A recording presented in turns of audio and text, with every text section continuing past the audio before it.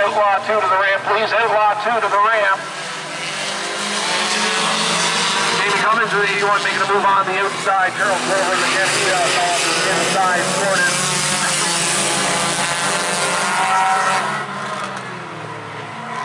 Still pretty boxed up here in the opening laps. Trouble between the 45 and the 99. They get corrected. Slow up. And continuing to move in the proper direction. 35 Carlos Spencer Payton. He is out to the early advantage. The rookie in the division. One of three rookie drivers this year. Matt Austin making a move on the inside. Three wide. Cody Palmer on the inside. Jamie Cummings on the inside. Driver and he's off. To make sure that car stays in one piece. Wise decision there by the 81.